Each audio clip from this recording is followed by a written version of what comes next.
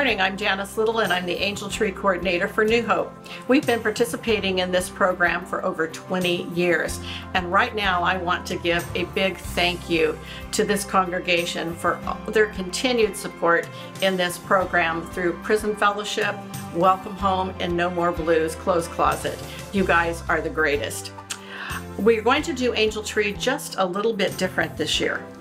Uh, we are going to break it down into two segments. We're going to do inside and outside. Traditionally, it has been to buy the gifts, deliver, deliver them, and we're finished, but not this year.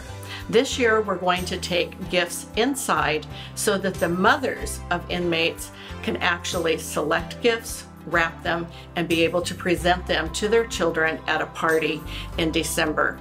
It was awesome last year, and I wished all of you could have been there to participate in it, to see the excitement on the faces of these children. But you have an opportunity to help out starting today. Gift tags, such as these, will be out in the pavilion for you to take. The reason it looks like this and not the angel is because these are for unwrapped gifts and it states that on the tag. It has the day that they are to be delivered back to the church and it has the item in which to purchase.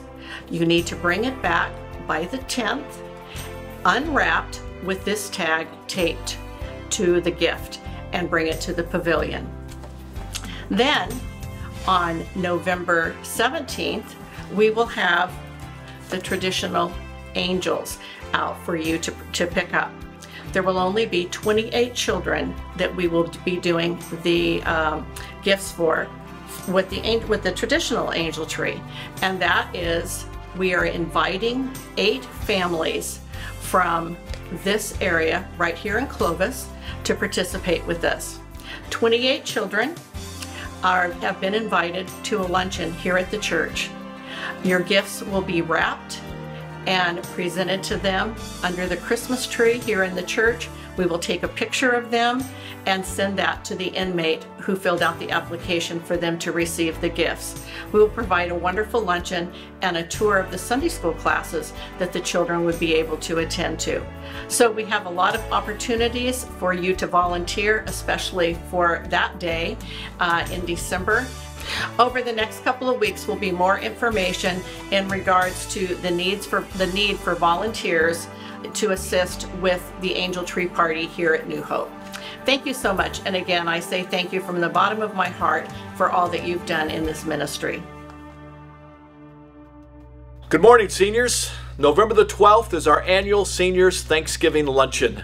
There's an old song that goes, Give thanks with a grateful heart. Give thanks to the Holy One.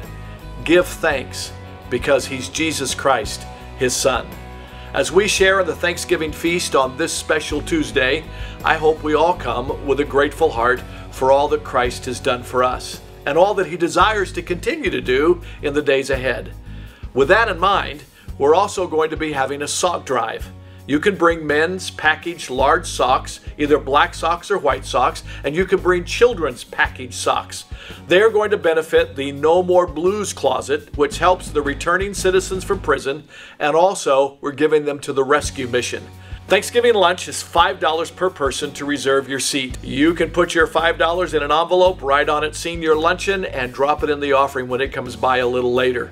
Seats are limited. We've already sold 60 seats. So please don't delay. God bless each of you as you're a blessing to others. Hi, I'm Bill.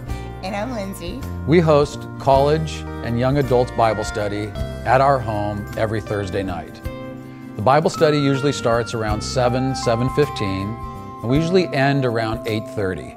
You can come early, hang out, and then afterwards we usually have dessert and kids just stick around and talk.